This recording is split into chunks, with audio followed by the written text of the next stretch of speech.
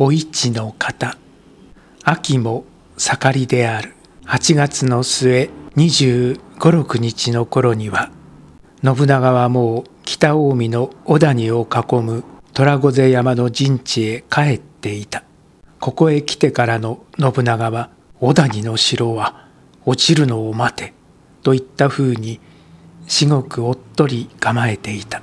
電光石火の壊滅を与えた越前の戦後の経営も彼は一条ヶ谷の余縁がまだ登っているうちに体だけを急速にここへ引っ返してここから何くれとなく指令を出していたほどだった。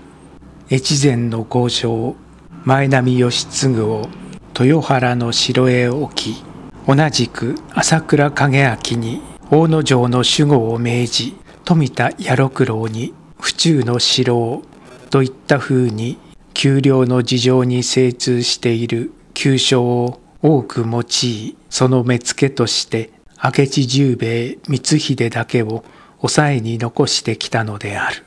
ここには光秀以上適任なものはあるまい。かつて老老の不遇時代に朝倉家の家臣となり一条ヶ谷の城下にも住んでいたことのある光秀はそして当時家中の人々から霊願視されてここでも世間へ浮かび出せなかった過去を持つ光秀は今全く反対な立場になって旧朝倉の一族を監視した。多少の得意とさまざまな考えが光秀の胸を往来したことであろう。それに光秀の才識は事あるごとに認められて今や彼は信長の長身の一人だった。人を見るに人一倍明敏な彼はここ数年の戦や日々の奉公によって信長という人の性格もよく飲み込んでいた。信長の顔色片言景色など鏡に映して見るように遠くにいても分かっていた。彼は越前から日に数度の早馬を立てた。仮初めにも私な船団をせずいちいち信長の指図を仰いだ。その文書や書簡などを信長は虎御瀬山の陣所で毎日うららかに見ては採血を与えていた。戦もこんな戦ばかりだとのんきなものだな。バカを言え。その心が危ない。今夜にもどんなご命令が出るかわからん。敵の浅井一族といってもあの片目を見ると存外手強そうだぞ。守りきる覚悟かしら。元よりだろう。北近江六軍。合わせて39万石の本城市場が総将棋倒しに落ちるはずはない。人外ものどかである。将兵たちが雑談していた。雲もない一匹の空に重なり合っている。山々の就職。その裾に見える湖の明るさ。ふとすると鳥の音にあくびを誘われそうだった。お木下様が来る。横山城からすぐ山向こうまで陣地を進めている藤吉郎であった。四五人の労働を連れて大股に彼方の沢を降りてくる。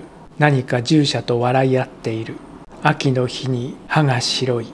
たちまち近づいてくると「やあやあ」右へ言う左へ会釈する須俣の城を築き横山城を預けられその任も位置もいつの間にか織田軍の将校中では残然重きをなしてきた彼であったがまことに相変わらずである。彼は少し軽々しいよと武将のうちには自分たちの重々しさに比べて軽骨と評するものもあるけれどまた一部からはいや彼は食らい負けしないのだ。一躍六高が上がっても昨日の彼と変わらないしおこびとから侍になりまたたちまち一条の上に座ってもあの通りだ。まだ相当なところまで禄をこぎつけるだろう。とにかくいいところがあるよあの男は。という表もあった。まずこの辺りの理解者は彼に対して最大な好感を持っている方でその数はもとより100人に1人くらいなものだった。ぶらりと藤吉郎が本陣に顔を見せたと思うといつの間にか至極簡単に信長を誘い出して山の方へ登っていったものである。けしからぬやつだ。柴田勝家佐久間信盛などはええ外まで出てきてあれだから憎まれつともよいのに人に憎まれるのだ。どうもこさいおろすやつほど不快なものはない。と唾しながら彼方の沢を信長について縫ってゆく藤吉郎の影を見送っていた。我々に何の目的も告げず計らいもせずに。第一危険至極ではないか。いくら白昼でも広い山地には敵の忍びもいる。もし遠くから狙撃でもされたらどうするか。殿も殿血といや木下がいかん。大勢してお付き添いしては目につくなどと共におもねって。勝家や信盛以外の幕将たちも決して快くなかった。いずれどこか山の高所へお供して藤吉郎が例の智弁で何か作戦上の検索でもするつもりだろうとは察しられたがそもそもそのこと自体が不快でならなかった。その不快は我々威爆の傍聴を無視しておるというところにあるらしい。そういう人間の機微はわからないのか無関心なのか。藤吉郎はまるで湯山にでも行くような笑い声を時々山あいのし島に発しながら信長の先頭に立ってゆく。彼の労働と信長の従者と合わせてわずか2 3 0人の正体でしかない。汗ばみますな。山を登ると。殿お手を引きましょうか。たわけたこと。もうわずかです。登り足らんな。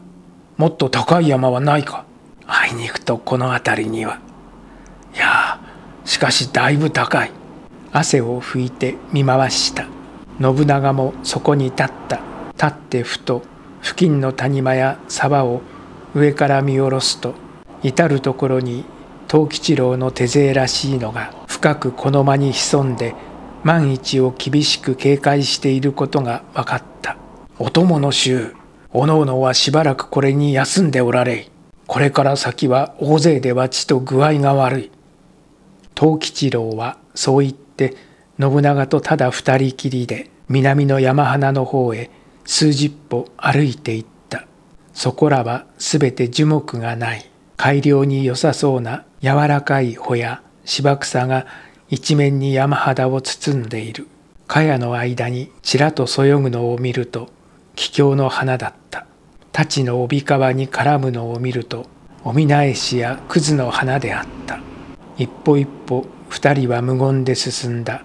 海へ望んでいるように少し先は何もなかった。殿お鏡ください。こうかなるべく草の穂にお身を紛らわせて。そうしてハウがごとくなお断崖のへりまで行くと目の下の盆地に忽然と明らかな城郭が望まれた。小谷の城です。声を低めて藤吉郎は指さした。信長はうなずいた。無言のまま。その瞳に何か深い感情が包まれている。単に敵の本城に接しただけのものではない。自分の大軍をもって包囲しているこの城中には我が妹のお市の方が城主の妻となってからもう4人の子までなして今も暮らしているのだった。主従は座った。秋草の花や穂が二人の肩まで包む。目の下の城郭を開かず見つめていた信長はその目を藤吉郎の表へ向けた。さぞ妹は兄を恨んでいよう。害も言わせず浅井家へ嫁がせたのはこの信長であった。国を保つためには是非もない。我が家の煮えになれと言い含められて泣く泣く腰に隠れていったお市の姿が藤吉郎今も信長は目に見えるような心地がする。それがしもよく覚えております。おびただしいお荷物厳しいお腰飾り馬だのお供の人々に囲まれて湖北へ嫁がれた日のご政治を。お市はまだ15の何も知らぬ乙女だった。小さくてお可愛らしい花嫁姿は王将君のようでした。藤吉郎。はい。そちにはわかるであろう。信長の苦痛が。それゆえにこそ手前も苦慮しております。この城一つ。と信長は顎で刺して踏み潰す段には何の造作もないがお市の身を怪我なく外に救い出そうと思うとこれは一国の戦と信長の煩悩と二つにかかる汝となる。というて凡夫信長そのいずれも捨てかねておる。ご無理はありません。藤吉郎は頭を垂れた。彼も上智の所有者である。信長の感情に富むところと彼のそれとは理解し合うことができた。先頃から一度小谷の地形が見たい。穴井せよというご内意のあった時もまたここを置いて先に越前の攻略をお果たしなされたのもそのお悩みによることとは徳から拝察しておりました。口はばたい申し方ですが手前から忌憚なく言わせていただくならその煩悩こそ殿の良いところと人間の市場何をか進化へご遠慮がありましょう。失礼ながら藤吉郎はひとしお我が殿のご美点をもう一つ見出したような心地にござりまする。そちだけだ。信長は舌打ちしてここへ陣して純実を虚しくわしが過ごしておるのを見て柴田佐久間その他威爆の者どもも下しかねる顔のみしておる。分けて勝家などはわしが愚かを危ぶみもし密かに笑うてもおるようだ。殿ご自身がまだいずれにしたものかとお迷いになっておられるからです。迷わずにおれぬこのまま小谷の外城から一つ一つ粉砕して敵の使命をにわかに制せば浅井長政親子の者は必ずお市を監視して炎の底まで引き連れて行くであろう。まずそうなりましょう。藤吉郎、そちは最前から信長の心に同意とは言いおるが、至極平然と聞いておる。何かそちに策でもあるのかないわけでもありません。ではなぜ早く信長の意を休めてくれぬか。近頃、検索はあまりせぬことに自ら慎んでおるものですから。なぜか。伊爆には他に人も多うございますゆえ、余人の妬みを恐れておるか。それもうるさいことだ。しかし要は信長の心一つにある。まっすぐに所存を言うてみ。いや、良い策があらば聞かせてくれ。徳、ご覧なさいませ。藤吉郎は指さした眼下の小谷城全角をその一子に指して言うのである。この城の特質は三つの車が普通の城よりも格然と各々独立しておるように分かれていることです。すなわち一の車には大殿と呼ばれる浅井久政が住み、三の車には子息の長政殿とご内室お市の方様やお子たちが住まわれておりまする。うん、あれにか。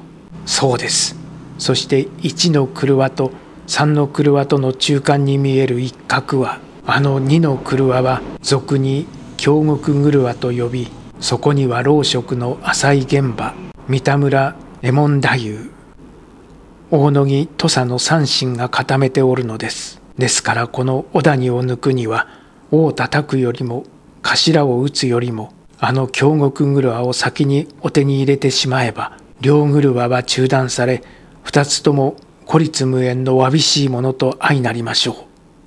そうか。措置の言う意味は中の京極車だけを攻め落としその上で計りをなせと申すわけだの。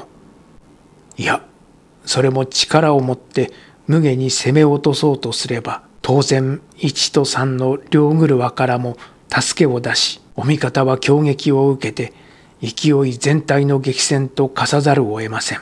さある時には一挙に踏み潰すか引いて緩めるかいずれにせよご城内にあるお市の方様のお命などどうなるかわからなくなりまする。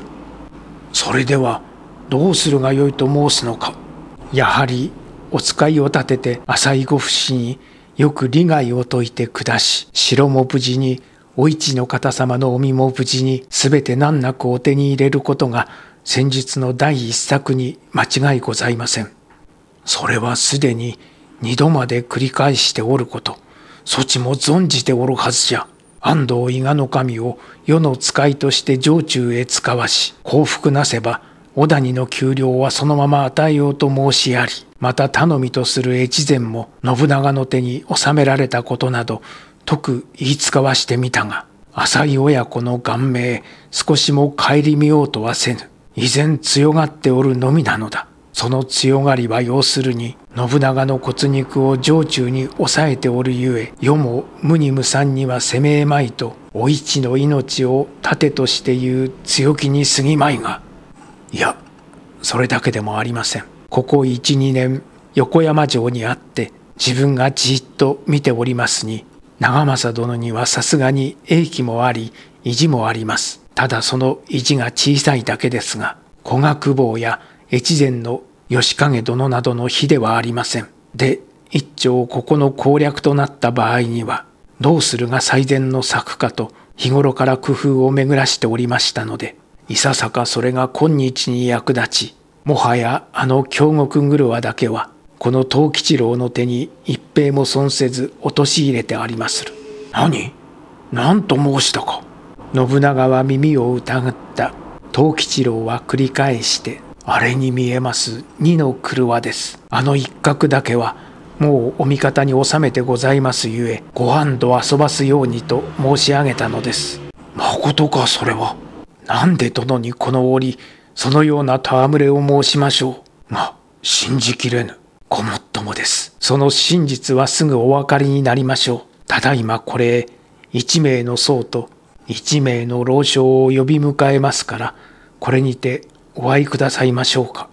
何者じゃ、その二人は。一人は、宮部全消防というもの。もう一人は、京極車を預かる老臣の一人、大野木土佐の神にございまする。藤吉郎は手を振った。彼方から一人の子卒が、草の中を鏡越しにかけてくる。近くへ呼んで、何事か言いつけ、早くせい。とすぐ追いやった。そうして信長に向かい直して「ただいま呼びにやりましたやがてこれへ連れてみえましょう」という信長は意外な面持ちから解かれなかったこの男のこととは十分に信じてもいるがなおどうして浅井家の家臣などを自由にこれへ拉致してくるか不思議な念を消しきれなかった。だいぶ間がある。その間の座談として藤吉郎はことも投げに不思議でない理由を打ち明けた。横山の城を殿から賜ってから間もない頃のことでと彼は言い出すのである。信長はいささか驚いた。まじまじとそういう彼の顔を見つめずにいられない。横山城は前線の用地なので特に浅い朝倉の迎えとして藤吉郎の体を込めさせたものである。暫定的な駐屯の意味で命じた覚えはあるが上智をやると約束した記憶はない。いつの間にか藤吉郎の方ではもらったようなことを言っている。だがこの際だし後の話に心を惹かれている信長とてケチなことを正してもいられなかった。その頃とは永山攻めのすぐ翌年そちが岐阜へ年賀に見えた春先のことか。さればでその途中竹中半兵衛が今浜の辺りで発病したりなどいたし予定が遅れて横山へかかったのがもう世に入っておりました。長物語は聞いている心地もせぬ。よう早く申せ。それがしの留守と見横山城は野襲を受けていました。もとより直ちに撃退しましたがその折生け取った敵方の郵送に宮部全消防なる者がおりました。生け捕りのものか。そうです。首にするところ以来年頃に養っておき暇を見ては時世の将来を諭し部門の本義を教えなどしておりますうちに彼の方から進んで九州大野木土佐守を解きまた土佐守から他の老臣を解かせ、全く手前に起伏しておる次第でございます。もっとくこ。戦場にざれ言はございません。感服という度を少し超えて、彼の遠い用意と、またその間、ひらめいているずるさに、信長も呆れ顔であった。戦場にざれ言はない、体現した通り、間もなく、宮部全勝坊と大野木土佐守は藤吉郎の家来に導かれてそれへ来た。遠く草の中に二人平伏して信長に謁した。信長はなお藤吉郎の言葉にそういないか否か二三のことを土佐守に正した。土佐守は慎んで自分一存の幸福にはございませぬ。京極車に詰めおる他の二老臣もお敵対は具かえって主家の滅亡を急がせ両家の民をいたずらに苦しめるものと深く反省いたして木下殿まで生死を差し上げてある通りに所存を固めておりまする」と明らかに答えた「生死まで持っておるのか」信長が顧みて聞くともとより白紙のままで殿のお耳へ入れる気遣いはございません。笑って彼は答えた。間もなく信長は山を下り藤吉郎と全勝坊は横山の陣地へまた大野木土佐守一人は小谷の二の車へ感動伝い密かに帰っていった。